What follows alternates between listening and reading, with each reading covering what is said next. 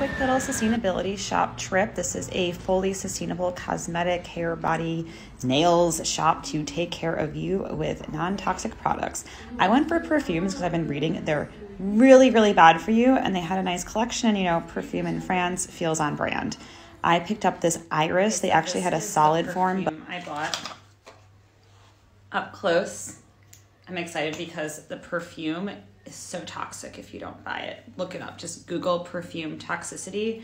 I'm replacing this. I bought this for $10 so I can confirm that this is very toxic. Um, so we're excited.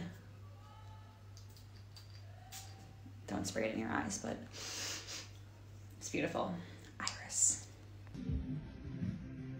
We're back at Unbottled. This is a bar soap store for everything you could think of that could be in a bar form. I came back to find these two new right, products. Co. So I bought these two products. It's like 23 euros for both. You save 10%. They try to push you to buy more, of course.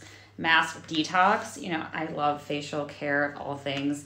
Charcoal, it's hot. Does it work? I don't know, but it's it's gonna cleanse. It's gonna also be a dual um, mask and cleanser you know, no brainer. And then shaving bar soap. I've been using regular soap. I've been trying to convince myself it's fine, but